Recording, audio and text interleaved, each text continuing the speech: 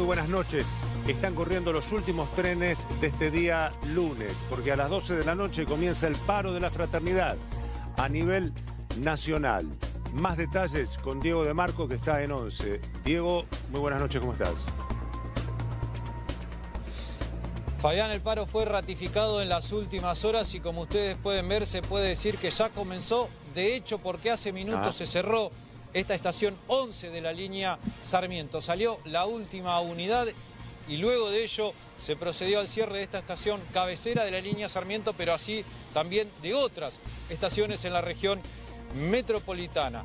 El paro, la medida de fuerza fue convocado por el gremio La Fraternidad, no por un reclamo de mejoras salariales, sino por una deuda del gobierno nacional con la obra social de la entidad gremial y por eso se lleva a cabo esta medida que será por 24 horas. Pudimos saber que desde el Ministerio de Trabajo se intentó destrabar la situación hasta último momento, pero no se consiguió al menos por el momento. Por otra parte, desde el Ministerio de Transporte, Fabián, ya anunciaron que habrá un refuerzo de micros para hacia la ciudad de Buenos Aires y también hacia la provincia en el horario de la tarde. Vamos a leer esa información que nos acaba de llegar, el cronograma de micros que se va a disponer en el día de mañana para intentar suplir esta ausencia de trenes. Dice, desde esta línea, la línea Sarmiento, van a salir micros desde Moreno, Merlo y Morón hacia la capital federal por la mañana y luego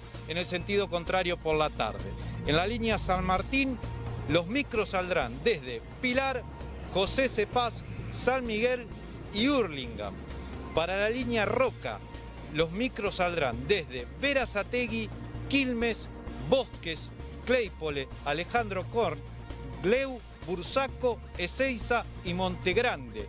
La línea Mitre tendrá micros desde Tigre, Virreyes, San Isidro, José León Suárez, Villa Ballester y San Martín. Estos son los micros que dispone el Ministerio de Transporte para intentar suplir la ausencia de trenes. Algo importante, irán a un 80% de su capacidad teniendo en cuenta el contexto de pandemia que estamos atravesando. Por último, decirte, Fabián, que la fraternidad no solo ha anunciado este paro, sino que también ha amenazado con uno de 48 horas para la semana que viene si es que su demanda no es atendida.